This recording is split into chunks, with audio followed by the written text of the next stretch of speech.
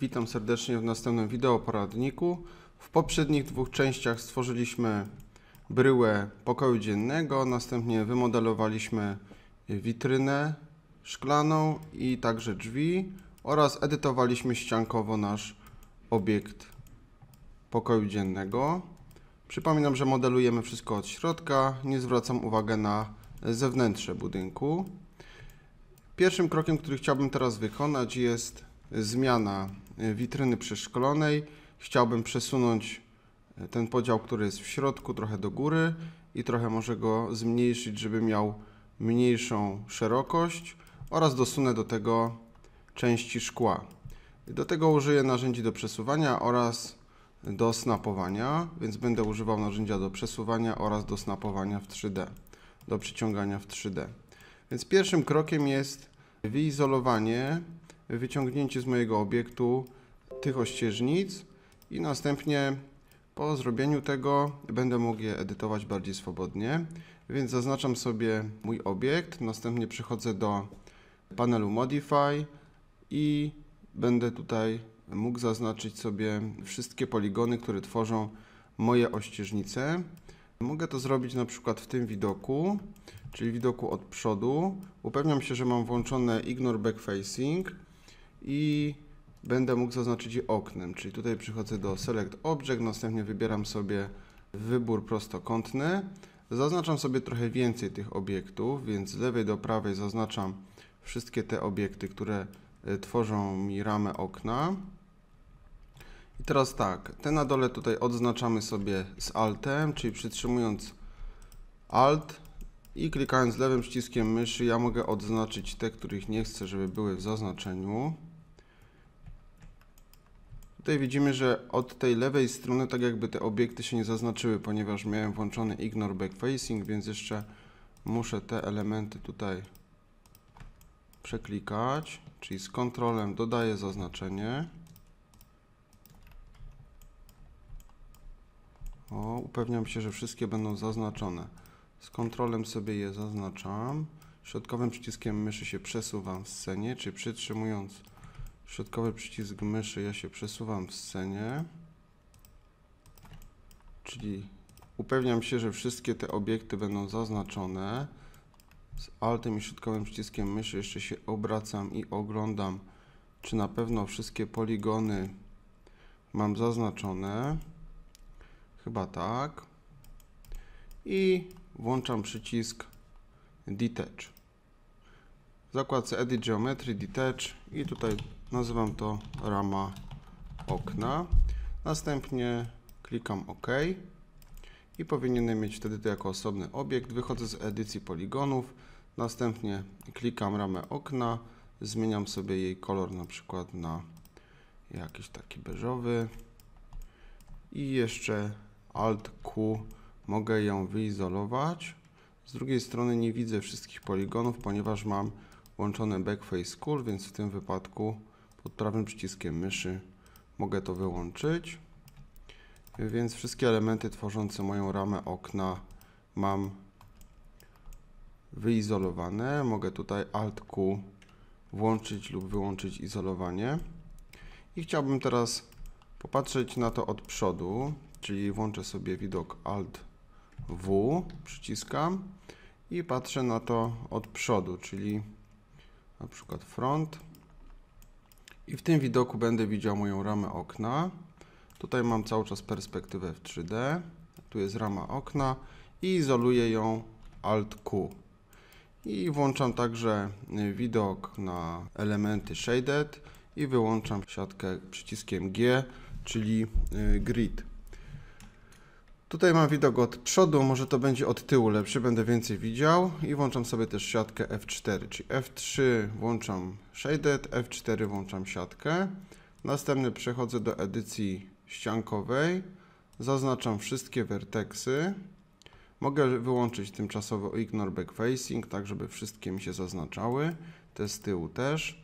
I po zaznaczeniu oknem włączam narzędzie Select and Move i staram się przesuwać ją do góry. Tutaj widzimy, że wysokość tego gizma, tego przesunięcia jest na wysokości 120. Więc mogę tak przesunąć tą ramę, żeby było to na około 200 cm. Więc tu mogę też wpisać, żeby oś była 200 i Enterem zatwierdzam. I potem jak już wykonałem tę czynność, chciałbym też trochę tą ramę tutaj ścisnąć, żeby była mniejsza odległość pomiędzy tymi elementami, więc zaznaczam od góry te elementy, które tworzą mi tą ramę. Upewniam się, że dotąd mam to zaznaczone, czyli po podniesieniu, jak będę podnosił, mogę nawigować w dwóch oknach, będzie to trochę cieńsze, więc widzimy, że tutaj trochę sobie to podnoszę do góry, będzie to cieńsze i to samo robię z tymi elementami u góry, więc je zaznaczam w tym miejscu i przesuwam je w dół. Tak, żeby ta rama była trochę, trochę u góry cieńsza. O, i taki układ myślę, że mnie satysfakcjonuje. Wychodzę z edycji vertexów, następnie wychodzę z izolowania. Widzimy, że obiekty, które były w tle, obiekty, które były elementami szkła, nie zmieniły mi się, ponieważ były odpięte, więc muszę je zaznaczyć, przejść do edycji poligonów. Te u góry sobie skasuję, a te na dole wyciągnę. Więc zaznaczę poligony i je skasuję i następnie krawędzie na dole zaznaczę i je wyciągnę do góry, tak żeby były ponad tą ramą. Czyli przesuwam krawędź do góry po osi Z. Tutaj nie musimy mieć idealnie doprowadzonego tego do krawędzi naszego okna, ale gdybyśmy chcieli bardzo dokładnie to modelować, możemy tutaj po przesunięciu tej krawędzi przyglądać się takiemu jednemu miejscu, włączyć narzędzie Select and Move i następnie włączyć narzędzie 3D do przyciągania. Klikniemy prawym przyciskiem myszy na nie i następnie upewniamy się, że tutaj spośród wybranych elementów, które są przyciągane, mam tylko wybrane werteksy. Więc mam tylko wybrane werteksy i teraz jak działa przyciąganie. Mam zaznaczone kilka krawędzi, czyli tą, tą i tą.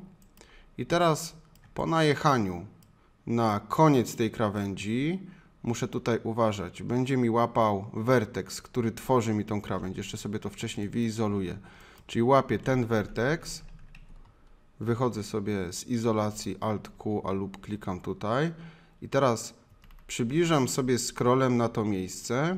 Następnie cały czas mam zaznaczone te cztery krawędzie tworzące mi szybę.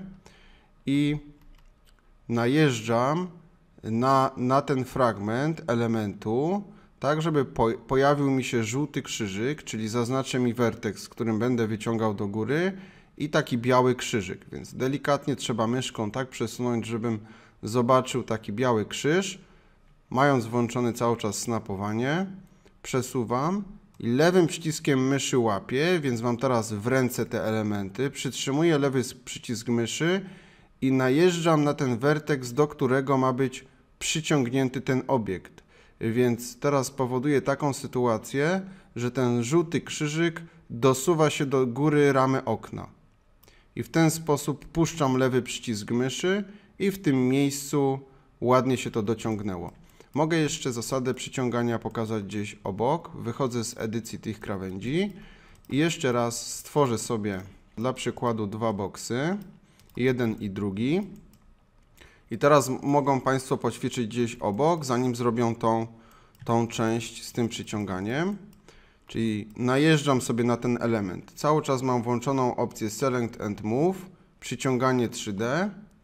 Najeżdżam na ten obiekt, tak żeby pojawił mi się, zaznaczam go sobie. Najeżdżam na ten obiekt, tak żeby pojawił mi się żółty krzyżyk i biały krzyż zaznaczenia. Przytrzymuję lewy przycisk myszy i puszczam go tam, jeśli pojawi się ten żółty krzyżyk w miejscu, w którym chcę, żeby ten poprzedni zaznaczony się znajdował. I tak samo z tym punktem mogę zrobić, i z tym punktem, i tak samo z tym punktem, i z tym punktem, więc w ten sposób mogę tutaj nawigować, jeśli chodzi o przyciąganie. Ten punkt do tego, ten punkt potem do tego i tak dalej. Zaznaczam lewym przyciskiem myszy i kasuję narzędziem Delete na klawiaturze. Dziękuję serdecznie i do usłyszenia w następnym wideoporadniku.